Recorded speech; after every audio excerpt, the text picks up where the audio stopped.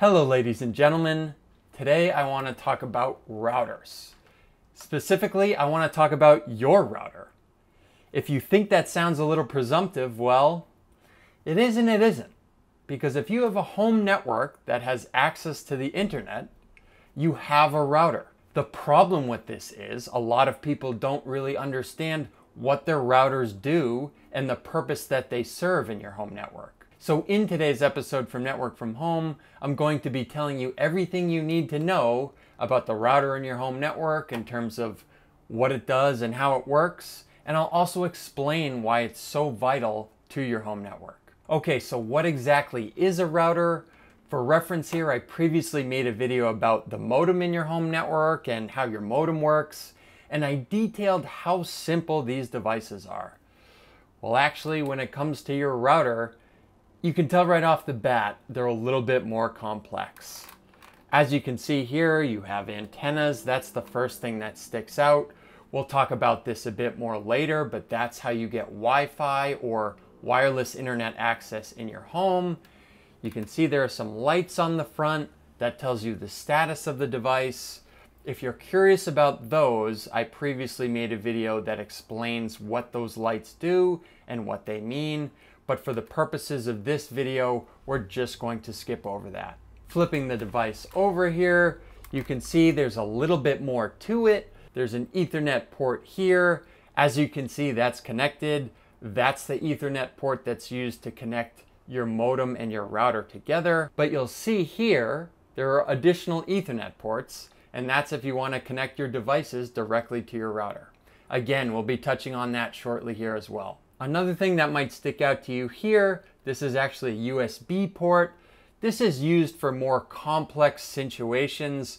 This is not something you need to know right off the bat. In most cases, people don't even use them, so we'll skip over that for now. The last thing we need to look at right here, this cable, that's just simply the power cable that provides power to the device. Now that we've covered the components of your router, let's talk about what a router actually does your router in your home network really has one main purpose. It allows multiple devices in your home to share the same internet connection. As you may know, your internet service provider is providing your home with an internet connection, but this is one single wire. This is one single connection between your home and the internet service provider. So we need to find ways to have multiple devices leverage that one connection at the same time so multiple users in your home can access the internet at the same time. This is where your router comes in. And your router allows internet connections in two different ways. The first, as we mentioned, through these antennas, it provides Wi-Fi or wireless internet access to your home. This is how the majority of people connect to the internet. The other component we went over here, here you go, here's four ethernet ports this allows you to connect your devices directly to the back of your router with an Ethernet cable, and this allows your devices to have a wired connection to the internet. Now, there are differences between wired and Wi Fi connections to the internet. Again, this is a video for another time, but what's important to understand is the fact that this router provides these two different ways of connecting to the internet and all of these devices are sharing the same internet connection to your internet service provider. I want to dive a little bit further into how your router actually allows multiple devices to share one internet connection. So let's take a look at an example for this. So let's start here with a diagram of your home network. As you can see here, you have three devices in your home network. You have your router, your modem, and then we have the larger internet. So let's say we have a device, your laptop to be specific, that wants to request a certain web page from the internet. So what happens is your device sends that request to your router. It says, hey, I want access to this web page. This request gets passed along to your modem, and then it gets sent out to the larger internet. Your internet goes, it finds the web page that you're looking for, and it returns a response to your modem who then passes the response to your router. But here's where things get tricky. As you can see, there are three devices in your home network.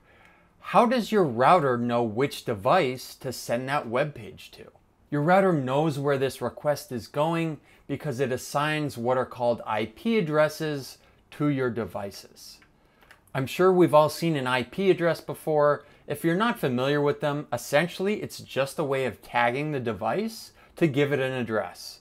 Much like your home address has a mailing address, your router gives addresses to your devices so it knows where to send requests and responses to the internet. So as you might have guessed, your router keeps track of the fact that the laptop requested that certain web page, and that's how it returns it directly to your laptop. Looking at another flavor of this same example, let's say you're on your iPhone, you have a Wi-Fi internet connection, there's another web page that you want to access on your iPhone. You send that request to your router, who forwards it along to your modem. It goes out to the internet to find the web page. The web page is returned to your modem, passed to your router, and because your router tags that iPhone with the 192.168.100.2 IP address, it knows that's where the request came from, that's where the response should go, so it sends the response to your iPhone. So why do you need a router in your home network? Well, first and foremost, without a router in your home network, your devices wouldn't all be able to access the internet. In addition, you also wouldn't have Wi-Fi at home you wouldn't be able to wirelessly connect to the internet. As a bonus, and this topic is a little more complex for the overview of your router, your router also provides your devices with security features and protects them from hackers online. This is why it's recommended that if you don't have a router in your home network, that you don't even try to access the internet. To put it simply, if you want to access the internet, you need to have a router. If this video provided you with some insight and you learned something new, I invite you to please give it a like. That will ensure that the video gets shared with other people who will benefit from this information as well. If you have any questions or if anything was confusing for you, please drop a comment below. And lastly, if you like my videos and the way that I present this technical information in an easy to understand way, I invite you to subscribe to the channel. I'll be continuing to put out more videos here in the future that will likely benefit you as well. As always, thanks for checking out this episode from Network from Home, and we'll catch you on the next one.